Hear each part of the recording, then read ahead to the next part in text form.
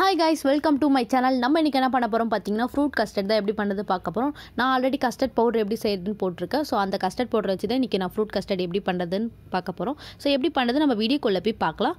ஒரு ரெண்டு ஸ்பூன் அளவுக்கு கஸ்டர்ட் பவுடர் சேர்த்துக்கிறேன். இப்போ இது கொஞ்சமாக பால் ஊற்றிக்கலாம்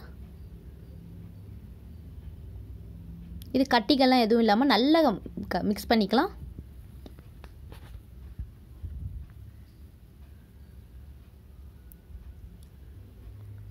கட்டிகள்லாம் இல்லாமல் நல்லா மிக்ஸ் பண்ணி வச்சு பாருங்கள் ஸோ இந்த மாதிரி தான் நல்லா மிக்ஸ் பண்ணணும். இப்போ நம்ம ஃப்ரூட் கஸ்டர்ட் பண்ணிடலாம்.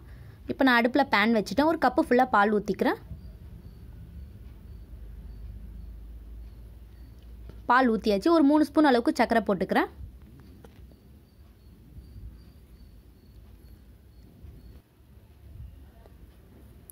சர்க்கரையெல்லாம் சேர்த்தாச்சு. இப்போ நல்லா மிக்ஸ் பண்ணிக்கலாம்.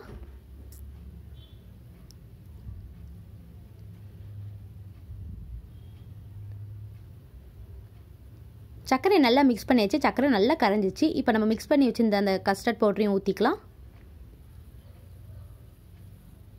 அது அப்படியே ஊற்றுனோடனே பாருங்கள் நல்லா கலர் சேஞ்ச் ஆகிடும் இப்போ இதை நல்லா மிக்ஸ் பண்ணிக்கலாம்.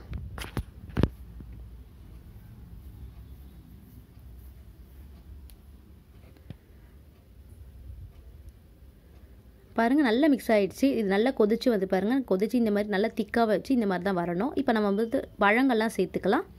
நான் வந்து கருப்பு திராட்சை நல்லா குட்டி குட்டியாக கட் பண்ணி வச்சுருக்கேன். இப்போ திராட்சை சேர்த்துக்கிறேன். ஒரு வாழைப்பழம் குட்டி குட்டியாக கட் பண்ணி வச்சுருக்கேன். இப்போ வாழைப்பழமும் சேர்த்துக்கலாம். பச்சை திராட்சை சின்ன சின்னதாக கட் பண்ணி வச்சுருக்கேன். இப்போ பச்சை திராட்சையும் சேர்த்துக்கிறேன். கொஞ்சோண்டு மாதுளப்பழம் சேர்த்துக்கிறேன். பப்பாளி குட்டி குட்டியாக கட் பண்ணி வச்சுருக்கேன். இப்போ பப்பாளியும் சேர்த்துக்கலாம். இதில் வந்து எந்த பழங்கள் வேணாலும் சேர்க்கலாம். நான் வந்து என்கிட்ட இருக்க பழங்கள் மட்டும் தான் சேர்த்துக்கிறேன். இப்போ அடுப்பை ஆஃப் பண்ணிவிட்டு இப்போ இதை நல்லா அப்படியே நல்லா கலரி விட்டுக்கலாம். ஸோ பழங்க சேர்த்துட்ட பிறகு நீங்கள் அடுப்பை ஆஃப் பண்ணிவிட்டு நல்லா கலரி விட்டுக்கோங்க. இப்போ அவ்வளோதான் நம்மளோட ஃப்ரூட் கஸ்டர்ட் ரெடி ஆகிடுச்சு பாருங்கள் ஸோ இதேமாரி சேம் மெத்தில் நீங்களும் ட்ரை பண்ணி பார்த்துட்டு கமெண்ட்ஸில் எப்படி இருந்தது சொல்லுங்கள் இந்த வீடியோ உங்களுக்கு பிடிச்சிருந்தா லைக் பண்ணுங்கள் ஷேர் பண்ணுங்கள் மறக்காமல் சப்ஸ்கிரைப் பண்ணி பெல்லைக்கா நாள் கொடுத்து வச்சுக்கோங்க. அப்போ தான் நாங்கள் போடக்கூடிய வீடியோ உங்களுக்கு ஒன்றே ஒன்று நோட்டிஃபிகேஷனாக வரும். Okay bye